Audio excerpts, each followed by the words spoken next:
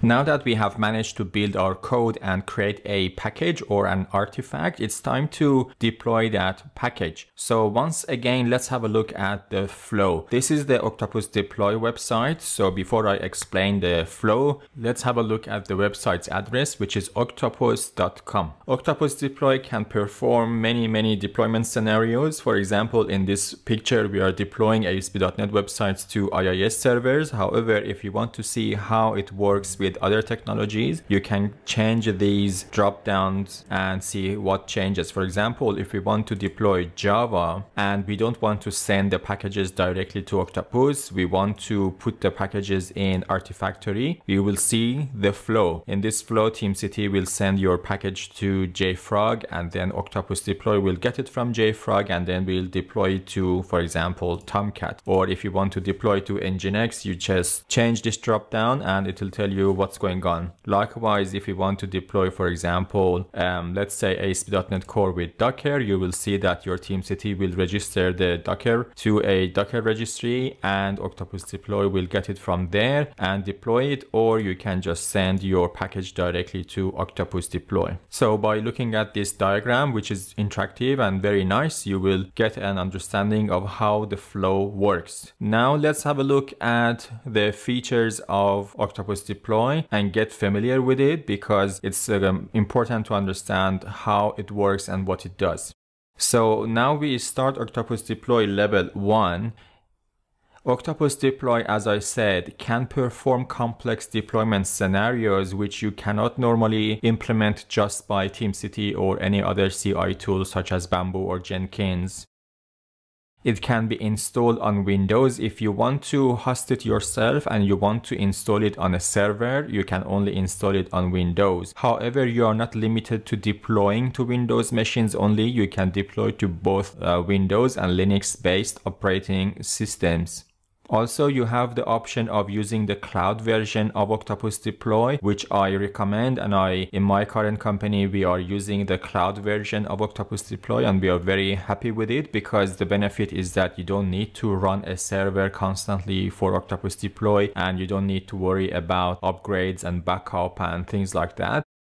And also Octopus Deploy comes with a free license for small teams. If you have up to 10 deployment targets, you can have Octopus Deploy for free, which is very good for small teams and for just starting or using Octopus Deploy with not so much headache. So let's see how Octopus Deploy works. Uh, just like TeamCity, we have a server. You know that TeamCity server is there for maintaining your projects and build configurations and users and things like that. Likewise, Octopus Deploy has a server which is basically for maintaining the deployment projects, users and environment information. What actually does the work is Octopus Deploy Tentacle. Octopus Deploy Tentacle is basically just the agent. Like TeamCity that has TeamCity server and TeamCity build agent, Octopus deploy has Octopus server and Octopus deploy tentacle. So Octopus server communicates with the tentacle to perform tasks. There are two ways to communicate with a tentacle. There are two types of Octopus deploy tentacles. The first type, which is recommended by Octopus Deploy, is listening tentacle. In this case, tentacle is just sitting there listening on port 10.9 double three. And whenever there is a task to be performed by the tentacle, Octopus deploy connects to the tentacle and sends the command and then tentacle performs the command. There is also another type of Octopus deploy tentacle, which is the polling tentacle. And in this case, Octopus deploy doesn't talk to the tentacle. Tentacle periodically connects to Octopus deploy server to see if there is any pending task. And if there is, then it will perform the task. As I said, Octopus deploy recommends the use of listening tentacle because it has less headache. However, polling tentacle has its own use case. And the main use case of a polling tentacle is that when your servers or machines are on the cloud and they are on an auto scaling group, which means they may appear when the load goes up and they may disappear when the load goes down. And when a server comes up automatically, a polling tentacle can connect to Octopus deploy server and get the pending tasks and perform them. Whereas if you use a listening tentacle on a server that just may be created in the cloud automatically, then it won't be able to be recognized by Octopus deploy server.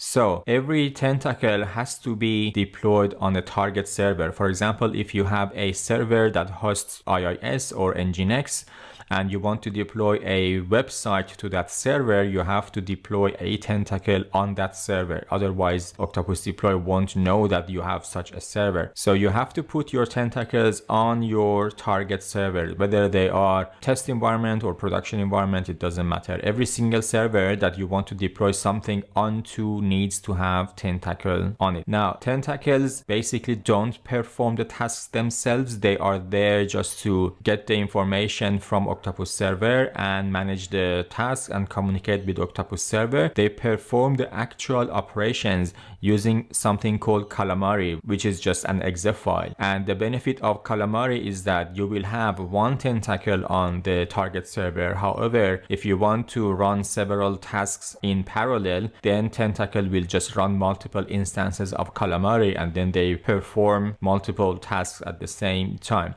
There is also another type of tentacle that is basically called worker tentacle and that is not used for deploying things onto server. It's for performing tasks on behalf of Octopus Deploy. For example, if you are working on Amazon Web Services and you want to run a, say, CloudFormation script, for example, obviously you cannot have a tentacle on Amazon because it's a managed environment. What you can do is that you can have a worker tentacle and ask the worker tentacle to connect to Amazon and run your script. Uh, majority of the times you will be working with just a normal tentacle which is deployed on the target servers and helps you to deploy your products to the target server. Uh, license wise, Octopus Deploy works based on how many active tentacles you have. As I said, if you want to use the free cloud product, you can have up to 10 tentacles and then more than that you will have to buy a license, which is again based on how many tentacles you have. For example, you can have 10 extra